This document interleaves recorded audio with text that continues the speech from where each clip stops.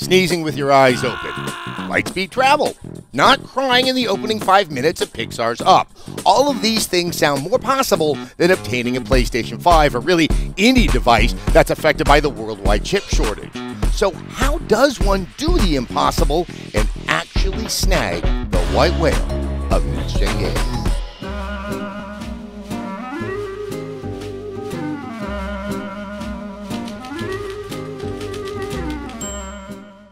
As we've covered before, finding a PlayStation 5 or an Xbox Series X at a reasonable retail price feels about as achievable as fistfighting the sun.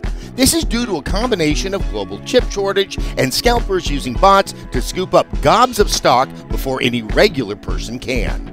Sneakerheads, concertgoers, and John Connor all probably understand the very specific heartbreak that comes when victory is suddenly snatched from your hands by a robot. No human can go through the checkout process as fast as a bot can. So don't beat yourself up. You're not being outrun by some rando who has mastered the art of the add to the cart quick draw.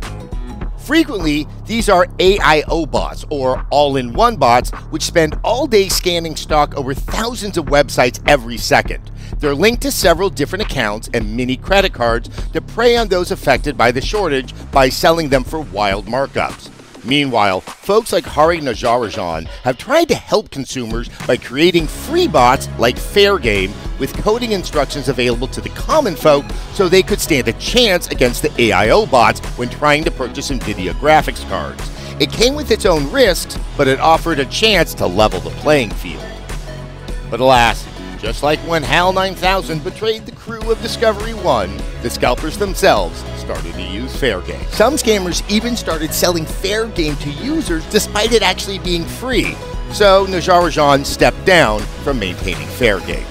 So once again, bots are not the answer because they will eventually turn traitor on us. There is no fate but what we make for ourselves. So, here are a few do's and don'ts for the actual humans trying to acquire a PlayStation 5. Do have all your accounts up to date. I know, I know. Every website and vlog on how to get a PS5 tells you this, but it's like sleeping more or drinking enough water. Advice that's frequently given but never heeded. And seriously, your pee looks like flat beer. Drink the water updating your shipping information and credit card details on the retailer's websites that you're frequently checking for stock helps save those precious moments you have when you finally see that mythical add to cart button. Don't be a clown to the employees of said retailer when asking about restocks. You are likely not the first person to ask, and you will not be the last. If you've ever worked retail, you understand employees know just as much as you do do do your diligence when looking for Twitter accounts to follow for stock updates. And stop quietly laughing to yourself because I said do do. Many of these accounts are fantastic, and one of them actually helped a G4 producer obtain a PS5. Congratulations, well deserved. These accounts are doing the Lord's work, but some are also preying on the public by tweeting out fake stock drops that actually just lead to affiliate links for counterfeit Funko Pops, or even worse, just trying to get you to give them money directly. When you find one that seems legitimate, as in tweeting actual links to retailers and not questionable websites to stores you've never heard of, like Crazy Kevin's PS5 Emporium or Bestest Buy, make sure you turn on notifications in addition to following them, since, as we've learned, stock moves fast. Don't, I beg of you, don't buy a PS5 via social media. No one on Facebook, Twitter, Instagram, GeoCities, whatever have you, just came upon an extra one that they're willing to sell you at a reasonable price. Beware of false promises, like those emails from international princes offering wads of cash or pills promising enlargement.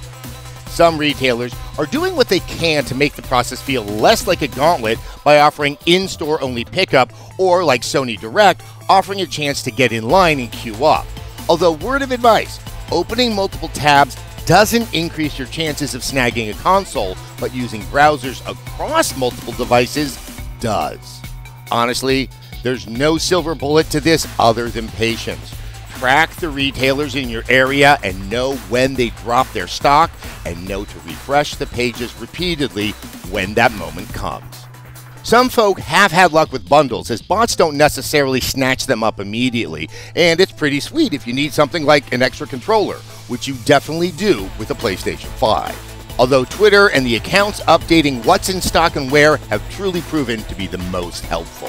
While Sony and Microsoft are trying to increase production, as we've said before, we may not see the results of that until late next year.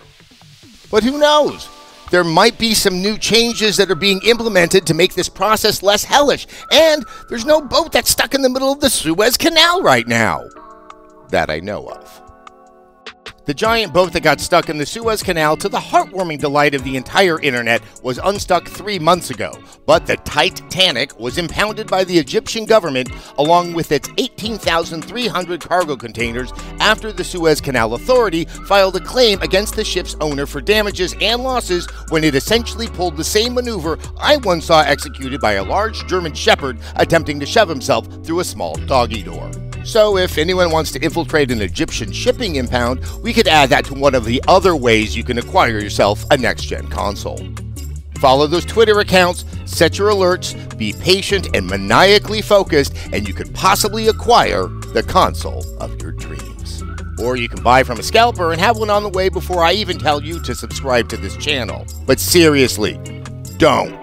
It's up to you, even if it takes a minute longer to get your hands on a PS5. And remember, the PS4 has an incredible library of games. Uh, I have to go wash my hair. Yeah, that's it.